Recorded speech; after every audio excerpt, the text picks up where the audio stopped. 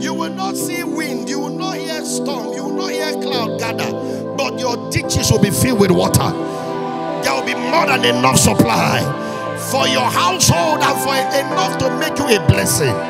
If you receive it, lift your hand say, I receive this one.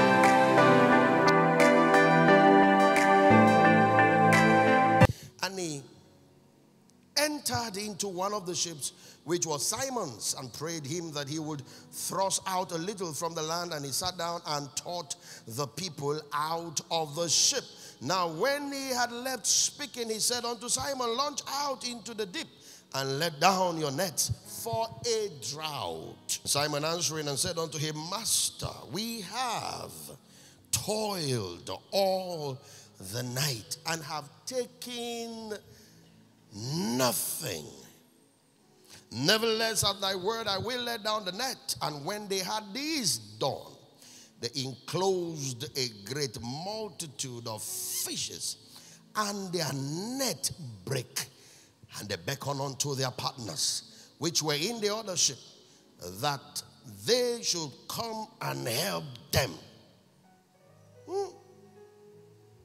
And they came and filled both the ships so that the two ships could not handle the supply of the day. This scripture or this story narrates uh, something deep more than just the little thing that happened because it portrays uh, one of the attributes of God. Our God is El Shaddai. That's uh, what he says he is, or that's who he says he is. It means that he is the Almighty One. Now, being Almighty is, is a very powerful thing. Eh, it simply means that there's nothing he cannot do. Nothing. Nothing is off limits for him. You cannot say, oh, he, can God do this one? Because what just happened here is a demonstration of the almightiness of God. You are familiar with the story. It's a lake. The body of water that they are fishing is a lake.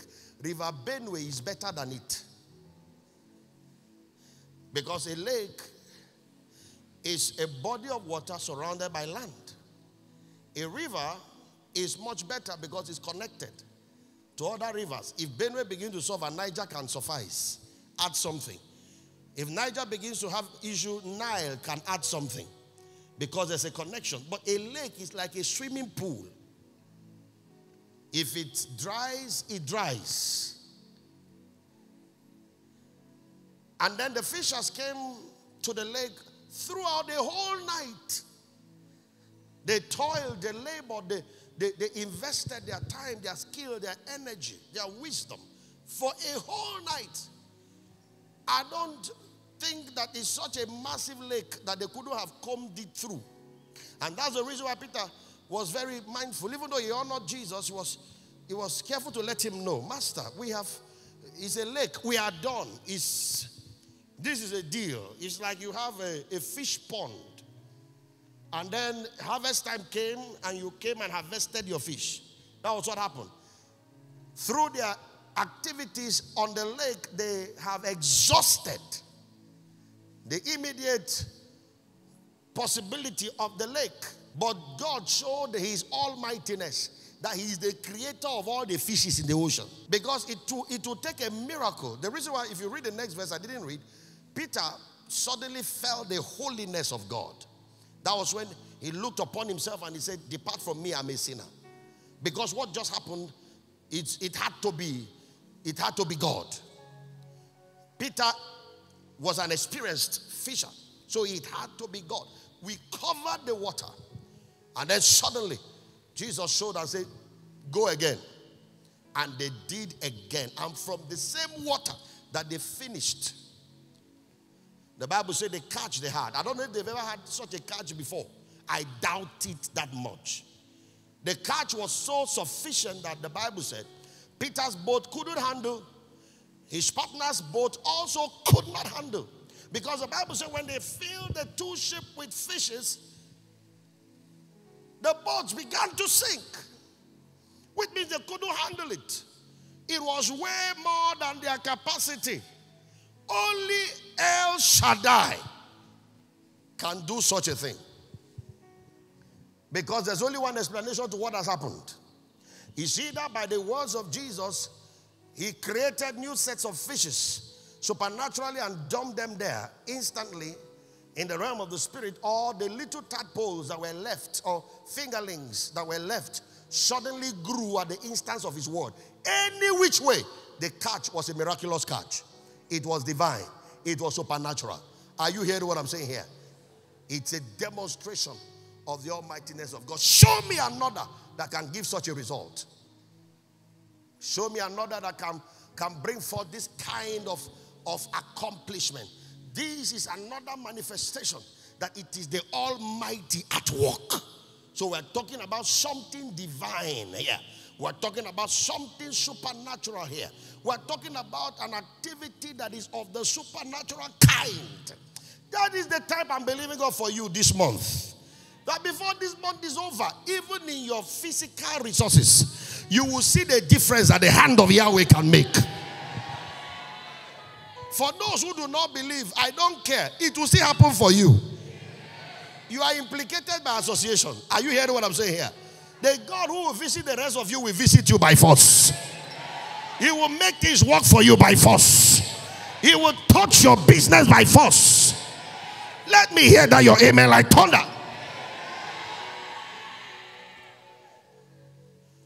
Peter got the kind of supply that made him felt like a sinful man. He felt undeserving. I don't deserve this. This is too much. That was when he began to talk about his, his spiritual condition. It was such a supernatural provision. This is supernatural supply. The men had surrendered. They were willing to go back home that day, even if it is empty handed, to go and explain to their family. Today was not a good day. There's no show today. But God showed up and showed himself strong. Our God, Abraham identified him also as Jireh, one that provides. This is provision here. Are you hearing what I'm saying here? They were to go home empty handed, but Jesus changed the story. They didn't go empty handed anymore. They would not just have enough to feed their family for that day, they had enough to last them for a longer period of time. That is what is called a breakthrough. That is a miracle. That is a kind of provision that God is going to connect you to. It will not just be enough to sustain you for a little while, it will also make you a blessing to other people for a long time. I am prophesying you are not receiving it because you are reading news and seeing and seeing all of the things going on in the nation. It will, whether it's going on well or not going on well, it will be well with you. Your family will not beg for food. Oh. Want to connect you to an economy higher than the economy of Nigeria. Nigeria is a $500 billion economy. I want to connect you to trillion, zillion, billion, I don't know what to call it, to economy. The economy that cannot fail is inexhaustible. Are you hearing what I'm saying here? And you are not saying amen? Where help will come for you this month, you will not even know. Oh, I say where help will come for you this month. You will not even know how that bill will be paid. You will not know. Hallelujah. You will not see wind, you will not hear storm, you will not hear cloud gather, but your ditches will be filled with water. There will be more than enough supply for your household and for enough to make you a blessing. If you receive it, lift your say, I receive this one. Hey, I receive this one too. Me too, I receive this one. Hallelujah. Hallelujah. If you check through the scripture, God exerts this type of dominion over creation from time to time. From time to time. It's consistent with his character, it's consistent with his nature, it's consistent with his capacity that he can provide without explanation. Without explanation, He can provide. He can do and undo. That's why He's the only one you can call El Shaddai. This is a demonstration of the greatness of God in providing for His people. Paul the Apostle, Philippians chapter 4, verse 19 says, But my God shall supply all your needs according to his riches in glory by Christ Jesus. How many of your needs? In this dimension, I'm talking about how many of your needs can be met? All. You must convince yourself that God is that able. You must convince yourself that God is that capable. You must convince your oh you, you, you don't want to convince yourself, right? Peter was shocked. But this is one of the demonstration of supernatural supplies. And with it comes some understanding. And that is what I want to communicate as we introduce the month of supernatural supply. There are three understandings I want I got from this whole episode of supernatural supply. By way of definition, let us call supernatural supplies divine provisions for today. Let us call it divine provisions. It's provision, all right, but it has a divine element to it, meaning it is not earthbound. It has the hand, the capacity, the signature of the divine within it. That's what supernatural supply is. It is divine provision. Divine provision. That's the only explanation to what transpires here. But quickly, what is this supernatural supply? The three understanding I got from this scripture number one, divine supplies is provision beyond human skills and abilities. It is provision beyond human skills and abilities. Now, within skills and abilities, we're going to put all your qualification. We're going to put all the job you can do, plus the extra jobs you can do in the name of side hustles. We're going to put all of your learning, your skills within that. On top of all of that, supernatural supplies is provision beyond all of those. Provision beyond your job, your career. Provision beyond your earning in your businesses. Provision beyond your earning from all your side hustles put together. This provision was more than Peter is a good fisherman. I hope you, you saw that there. As a good fisherman, it earned nothing on that day. But when supernatural provision took over, it overtook the skill of Peter. What the skill of Peter could not deliver, supernatural supplies delivered. What your job has not been able to deliver to you is what supernatural supply comes to cover. Are you hearing what I'm saying here? What all of your labors and efforts and you know th- those investments you have made here and there has not been able to deliver. That is what supernatural supply comes to deliver. So number one, supernatural supplies is provision beyond your skill and abilities. So what we're talking about is more than I work in NNPC. What we're talking about is more than I have a big shop in town.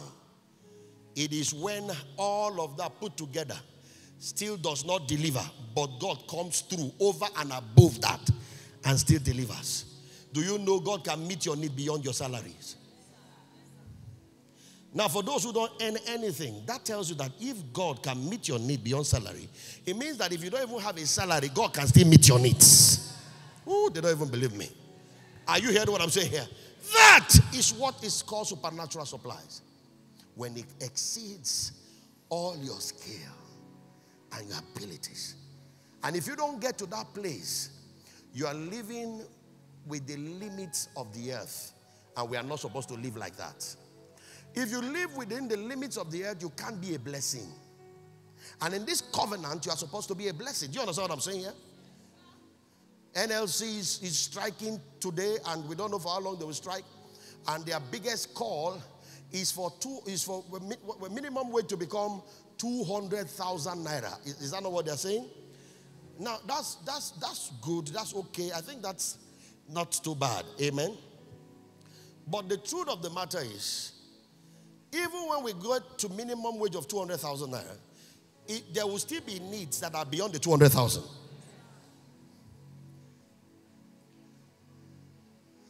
I was telling mommy if you when this whole thing began to work, I said we have we are in a dilemma as a nation. We're in a dilemma. We're in a dilemma because real growth we are not yet seeing in our economy, in our country. We are not yet seeing real growth. I'm talking about economic growth. Okay? Because almost all the sectors are not performing optimally. Even, even the so called oil sector, that is like our main, um, the main contributor to our GDP, is not even yielding optimally. Is rift with all manner of corruption underperformance. I don't want, let me not go too far on that. But that by itself is not even where it's supposed to be yet. We're still talking about stolen crude oil. We're still talking about, I, I read a few days ago, NNPC said that they, they have discovered how many, over 160 something illegal pipelines. Ooh, Nigeria is sweet illegal pipelines. Who connected it? From where did they connect it? How did they connect it? From 1 to 160 something. Hey!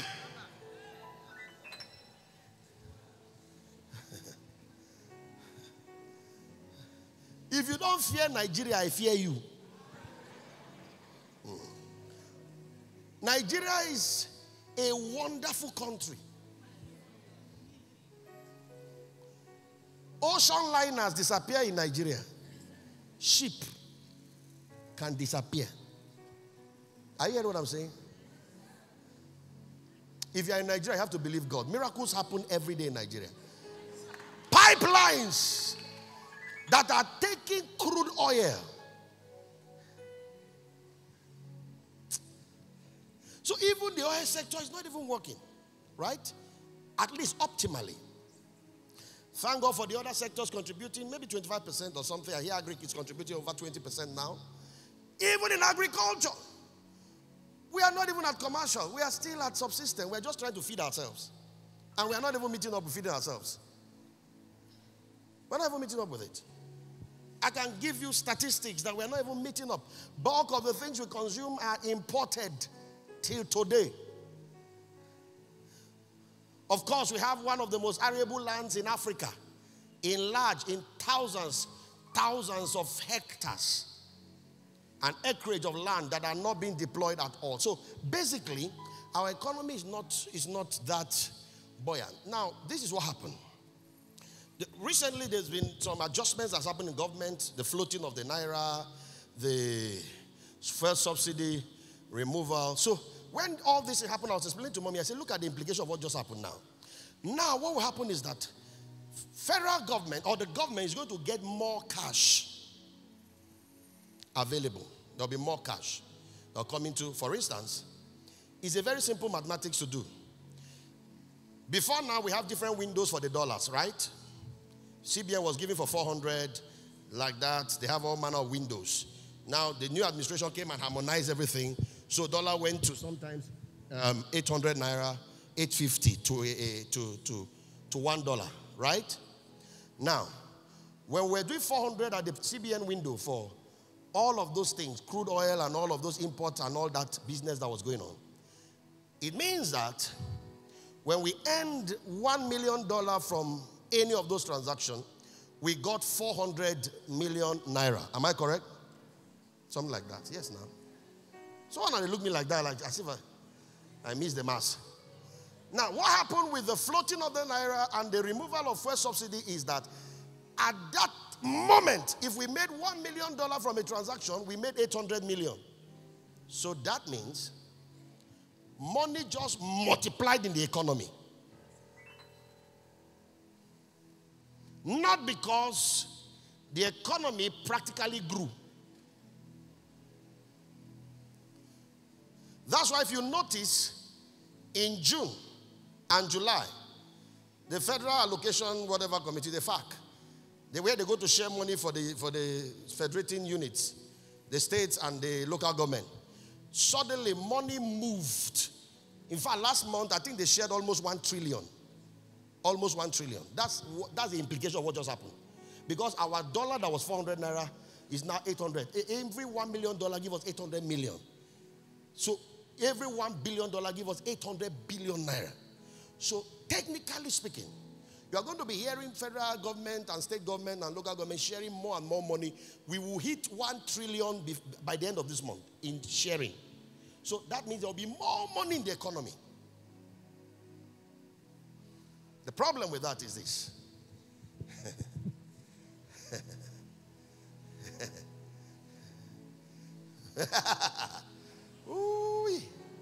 when you have money and you don't produce anything, you will import everything.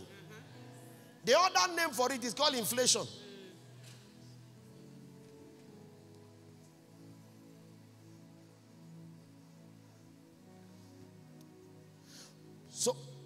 More money does not necessarily transfer, translate into more prosperity unless you produce more of the things you use that money for. If not, somebody else will get the money as you are grabbing the money. So it will be like plus one minus one. Nothing much will change, but there will be more. Even if they agree to pay the 200,000 naira as minimum wage, it has not translated to prosperity yet. So I was telling mommy, I said, this is how to survive the economy of Nigeria now. If you want to survive in this economy, even the governments, this is the only strategy. You must double up your earning power. If not, you will still not keep up. If they move minimum wage on 30 to 200, unless you have multiple earnings, you will still not keep up.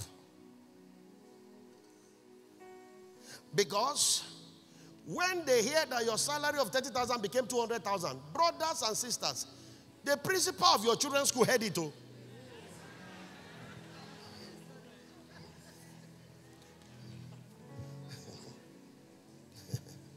You are not the only one that heard it. so everything will rise at the same time. This is how currencies of nations die. This is how it dies. Okay, when the nation is not really growing, but they are getting more money. Eventually, to amount to they are printing more money to meet up with the imbalances. Do you understand what I'm saying? So if you want to have a little life in such a, a, a, situation, you must double up your earning power. That is to say, one stream of income will not be sufficient to survive Nigeria in the next few months. You need more than one stream of income.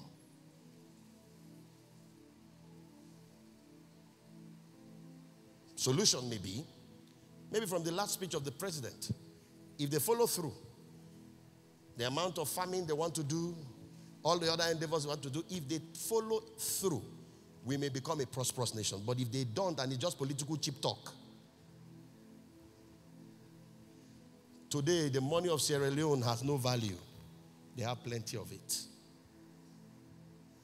What I'm saying is this if only in this world you have hope, you may be disappointed. What I'm saying is this if only in the systems of this world you tie your prosperity, you tie the supplies that meet your need, you are mistaken. We must intentionally begin to leverage on supernatural divine interventions because God can do it. He has done it before. He will continue to do it for those who believe that He can do it. That's why you need to you need to open your mind for divine ideas to flow in this time. Concepts, innovations, because those are part of the ways that God provides for his people. Are you hearing what I'm saying here? Those are parts of the ways. You must open your mind to relationship, knowledge, things that that can add value to your life. Those are part of the vehicles that God used to deliver his hand in our lives. Are you hearing what I'm saying here? So we're in a serious situation. If there's ever a time that the church need to believe God for the supernatural of God, in all of our affairs, in the way our needs are met. Are you hearing what I'm saying here? It is now. We must believe God like that. I didn't tell you all this to depress you. I told you all this to give you hope that we can survive this thing. We can. We can. and we will. Our fathers did, Abraham did, Isaac did, we shall. In fact, if there's ever a time we're going to shine more than ever before, it will be now. God is going to work some mathematics that will not have any human explanation and connect us to things that we have no explanation for. Did you hear what I just said? So please, there is provision beyond your job. That's what this point is telling you. There is provision beyond your business. Don't let your business, shaking in the business, instability in the economy, don't let it make you lose faith. I'm telling you, there's something beyond there. It is called supernatural provision. Provision beyond all of those things. Provision beyond all of those things. Provision beyond there. That is supernatural provision. Number two, supernatural provision is provision beyond your efforts and labors. There is provision beyond your efforts and labors. I believe in labor, hard work. I believe in it. I believe in it. I don't like laziness, indiscipline. I hate it with passion. So I'm not going to preach out of hard work, commitment, dedication. I will always preach you into it. But, child of God, there's provision beyond all of your efforts put together. There's provision beyond there. God can move beyond the work you have done, the work you can do, and the ones you may want to do. He can move beyond it. He can move beyond it. And we should expect Him to move beyond it. We should expect Him to move beyond all of our efforts. Your efforts are good. Keep putting your efforts, but expect more than the result of your efforts. Are you hearing what I'm saying here? Be committed at your work, deliver on the targets, but expect supplies beyond there. Beyond there. Expect supplies beyond there. Beyond there. Your job will pay you, your job will keep paying you, but expect supply beyond there. Expect supply beyond all the efforts you have made are trying to make your business to stand. Are trying to keep your your your your your your, your, your, your finance to keep flowing. Expect beyond there. Supernatural supply is when God supply beyond your efforts. I pray that somebody will experience God in this dimension. Where God will supply beyond your efforts. Oh. I've heard story of people before who were saving money for a particular project. I, heard, I, I, I, you know, I know of a guy that was saving money for a car. He was saving, saving, saving. It took so long, but he, he kept trying his best. Situations would come, de- deplete the money, then he would start again and kept going. At the end, when it was almost looking like he was going to reach his goal, that was when somebody gifted, gifted him a car. Hallelujah. How many, how many of you like that one? Did he labor? Did he make efforts? Yes, he did. But provision came beyond his labor. That's what I'm telling you is called supernatural supplies. When God provides beyond your labor, beyond your labor. Labor, but expect something beyond there. Hallelujah. I said hallelujah. I said hallelujah. One guy told me, he says, sir, he, he was, he, he, was here, he was transferred to another place uh, at his work in another location. So when we met one of the times, he says, sir, I just want to thank God. He said, what God has helped me to accomplish within this period that I left for my new place of assignment is amazing to me. And then he mentioned a few things. Uh, I don't think I want to mention those things, but they are serious accomplishments, serious achievements. What people will call a lifetime achievement, he achieved in months. And then, while he was talking, he now told me, he said, When I resume at my new place, there were opportunities for other things apart from my job, my main job. Okay, he's a professional at certain uh, disciplines, so he said he was getting jobs like contract jobs, and those contract jobs were sufficient for him to do the things he was telling me about. So his salary was not even in the equation. Are you hearing what I'm saying? Is he earning salary? Yes. But did he achieve the things he achieved by his salaries? No. No. A thousand times no. In fact, the things he achieved, when he was telling me the things he had done within that period, what I'm talking about is months. The things he had done within that period, if he were to save, let's say, 50% of his salary, he probably would not have accomplished that in five years. Probably five years. But he did it in months. God opened channels. Are you hearing what I'm saying? That is supernatural supplies. It is provision beyond your efforts, beyond your labors. There's somebody under the sound of my voice that God is going to open doors that will give you provision beyond your efforts.